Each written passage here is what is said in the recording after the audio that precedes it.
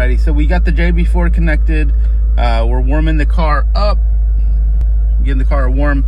Uh, you know, a lot of people asked uh, how the uh, ETS intake ran stock. So we're gonna be going back to the stock map. So settings, map, factory.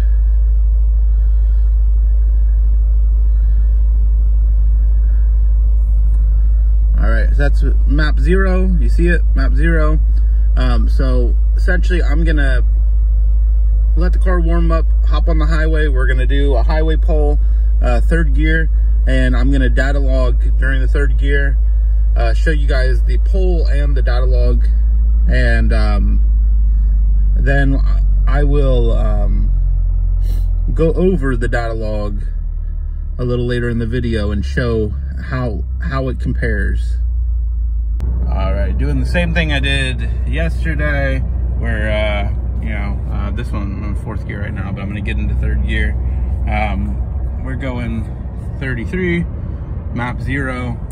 So essentially what I'm gonna do is I'm gonna put it in third, and then I'm gonna jam on it, we're gonna get up to like 75.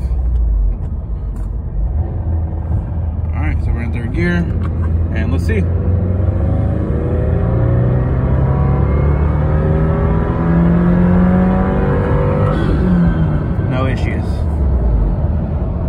That's it. Set felt clean. I think it might be the extra boost then. So you guys will be pleasantly surprised. The air fuel ratio is super safe with the stock boost. So uh, 10 PSI, 3000 RPM, 13. And it's gonna, so it's a little bit leaner towards the lower RPMs and then gets richer like it's supposed to towards the higher RPMs, like safer, more fuel. All right, so we move up the RPM band, 3800 RPM, 13. Move up a little higher, 42, 13. Still really good uh, air fuel ratio. This is kind of like the a nice power, a lean, a lean power right there. A little bit higher, 4700 RPM, 11 and a half pounds of boost, 12.8. And we're gonna move all the way up to the top. 56, 13.3 pounds of boost, 11.7 AFR. That's perfect. And then towards the very end of the uh, band, we've got 12 and our AFR, 6,000. This is kind of where we're letting off. It's 10,000, uh, 10, uh, 10 pounds of boost. That's kind of where we're letting off of.